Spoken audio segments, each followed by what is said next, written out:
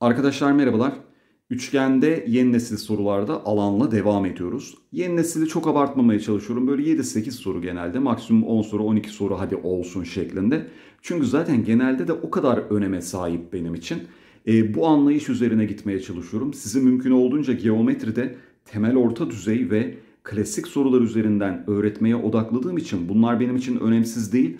Ama konunun sadece tek bir kısmı da değil sizin zannettiğiniz gibi. O yüzden de hala arkadaşlar bütün kitapların bütün soruları yeni nesil değil. Bütün soruları yeni nesil olan kitaplar da genelde kalitesi diğerlerine göre aslında daha düşük düzeyde olanlar. Önceden de söylemiştim. Endimek yayınlarını çok beğenmeme rağmen mesela yeni nesil sorularının o kadar süper olmadığını görüyorum o kitapta. E, bu anlamda paraf fena değil demiştim işte yeni nesil konusunda. O bütün soruları yeni nesil olup da fena olmayan bir paraf görünüyor şu an. Ama tabii yeni çıktıkça yine incelerim.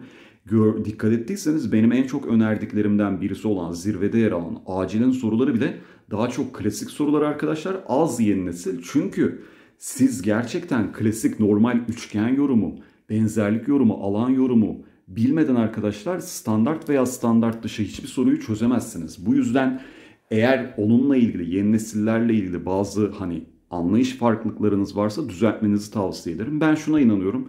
Gerçekten bir öğrenci geometri konusunda ben sevdiğim için geometriyi benle birlikte başlayıp en baştan düzgünce çalışıp dediklerimi yaparsa ben Instagram'da da çünkü net net anlattım hangi nete nasıl çalışma yapmak lazım. Yine geometri nasıl çalışılır videosu çektim. İşte ee, ne yapıyorum? Klasik anlatım yapıyorum. Üzerine yetmiyor soru çiziyorum. Üzerine yetmiyor işte hedef 10.000 serisi yapıyorum. Şimdi yeni nesil. Bunların hepsini yaptığınız zaman gerçekten başarılı olma noktasında çok önemli adımlar atacağınıza inanıyorum. Ancak tabii ki geometri çok sabırla hiç bırakmadan rahat böyle 6-7 ay çalışılması gereken bir ders. Bunu da mümkün olduğunca hep vurguluyorum. Çok bıktırmak da istemiyorum ama bunları söylemem gerektiğini düşünüyorum. Şimdi hızlıca sorulara geçelim. BD DC'nin 3 bölü 2 katıymış. Soruda ben kesirlerle uğraşmamak için şuna bakacağım. Şimdi BD DC'nin 3 bölü 2 katı ya arkadaşlar. Şöyle 3K 2K hep burada şunu düşünüyorum. Soruyu durdurdunuz. Yaptınız. Şimdi benden izliyorsunuz. O yüzden hızlıca giriş yapıyorum.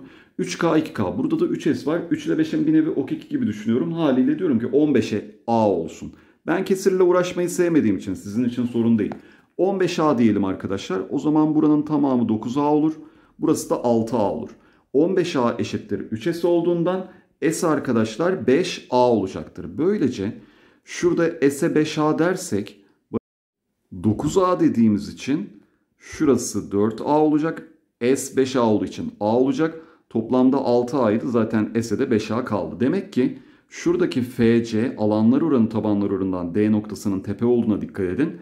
5A'ya A yani 5M'ye M diyebiliriz. AC'de arkadaşlar AF'nin bakın 6 katı olmuş oldu.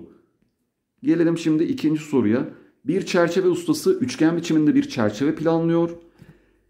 Aşağıdaki 3 sarı çıtayı birbirlerinin tam orta noktalarından şekildeki gibi çiviliyor. Sonra da bu birleştirilmiş çıtaların etrafına mavi 3 çıtayla çerçeve yapıyor. Buna göre son şekilde en küçük oluşan üçgenin alanı en büyük alanın üçgenin alanının oranı nedir demiş. Bakalım Şunları eşit yapayım, böyle yapayım. Eşkenar üçgen demediği için sembolik böyle yapayım. Bir yerden başlayacağım. Genelde ben en küçük üzerinden gitmeye çalışıyorum. Şimdi şöyle buraya S desem tabii ki alanlar oranı tabanlar oranı yapmak için şuraya da birleştirip S derim. Sonra yine arkadaşlar S derim. Başka sonra ne yapabiliriz? Şunu birleştirirsek böyle bakın burası da S olur. Ve alanlar oranı tabanlar oranından yine S.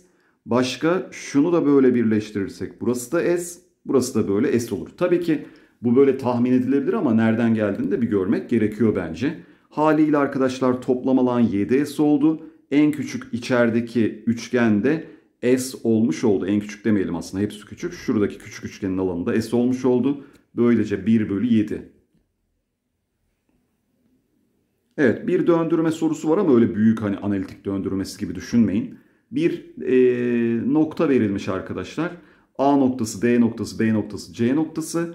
A noktası B etrafında 100 derece döndürülüyor. Döndürmek ne demek? Onu da hemen bir e, görelim. Döndürmek şu demektir arkadaşlar. Şu şey alayım bir çizgiyi. Bakın şimdi. Döndürmek bu. Kesinlikle ne değişmeyecek? BA uzunluğu değişmeyecek. O yüzden arkadaşlar P noktasına geldiğinde kaç derece demişti bize? Bir bakayım. 100 derece. O zaman burası 100 derece olmuş olacak. Buraya da ne kalacak haliyle? 15 derece kalacak. Sonra yine ne demiş bize? Bakalım. Burada D noktasını döndürüyoruz. N etrafında C etrafında. O zaman 155 derece döndürdüğümüzde şöyle CD uzunluğu değişmeden P noktasına denk geliyormuş. Böylece burada arkadaşlar burası 155 derece ya. Şimdi 130, 155 daha kaç yapıyor?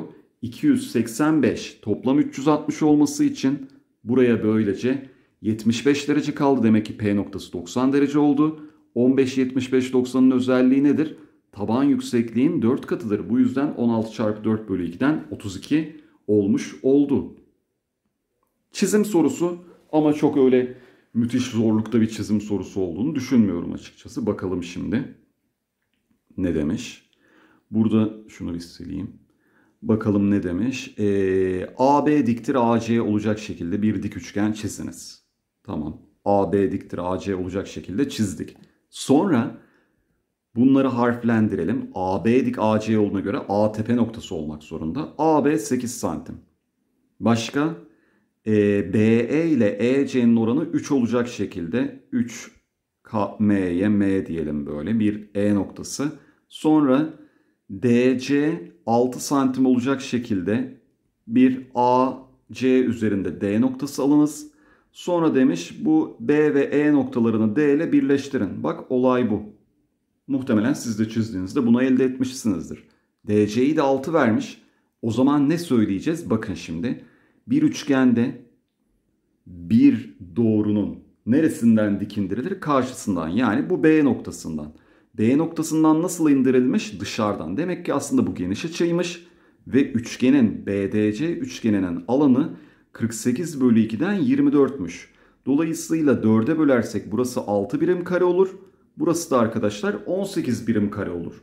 Sonra demiş ki BDE üçgenin alanı ABD'den 2 fazla. Demek ki burası da 16'dır. X dersek dik üçgenin alanı 8 çarpı x bölü 2'den 16 olması lazım. x 4 gelir. Bunu da bak kolaylıkla hallettik. Merak etmeyin yani. Çizim sorularının bağlı ediyorum ÖSYM gerçekten çok sağlam zorlukta analitikte sorular sordu arkadaşlar. Ama her sorunun da zor olacağını düşünmüyorum. Ben genelde tabii ki tarzım nedir? Sınav nasıl olursa olsun hep en zoru çıkacakmış gibi hareket etmek. Ama tabii ki geometride en zorunu hayal etmek için düzgünce temelden bir öğrenmek lazım. Ben zaten bu yüzden de senenin sonuna doğru inşallah o günleri görürsek arkadaşlar sizinle denemelerde paylaşacağım merak etmeyin. Her konuya gerektiği kadar önem vermeye çalışıyorum ben. Özellikle bakın çember, katı cisimlerde sağlam sorularım var. Analitikte sağlam sorularım var. Çözdüm hazır duruyor. Bitiren arkadaşlar isterse hemen şimdiden izlesin fark etmez çözsün. Ama şimdi hani böyle yeni nesil deyip de böyle aşırı da abanmak istemiyorum açıkçası. Zaten üçgenler yeni nesil karma çözdüm. Zaten hedef 10 binlerde aralarda zorlamaya çalışıyorum. Bir de ben dörtgenlerde de arkadaşlar hedef 10 binlere inşallah bir aksilik olmazsa devam edip orada da yine klasik sorular üzerinden çok güzel yorumlar bahsedeceğim. Böylece gerçekten olayı tamamlamış olacaksınız. Yeter ki sabırlı olun. Şimdi burada bir e, katlama sorusu var. Bir deneyin bakalım yine her zamanki gibi. Katlama yönünü tabi bir nevi şu C'den yola çıkarak söylemiş gibi ama dikkatli olmamız lazım. AD üzerinden katlıyoruz. Benim genelde tarzım katlanmamış şekil üzerinden katlamaktır. Şöyle bakın. AD üzerinden katlarsak böyle olur. Hakikaten ikinci şekle benziyor değil mi? İsterseniz şunu da yapabilirsiniz. Ben hocam böyle katlamış şekli geri açabilirim. Böyle zarfı açar gibi. Bu da olur. Hangisini kabul ederseniz. Bazı sorularda ikincisini de yapıyorum. Ama yeter ki ya katlanmamış şekil üzerinden ya da katlanmış şekil üzerinden kapatmayı ya da açmayı deneyin daha iyi anlamak için. Neyi görüyoruz? Kesinlikle açı değişmez. Lazım olur diye bu kenarda dursun.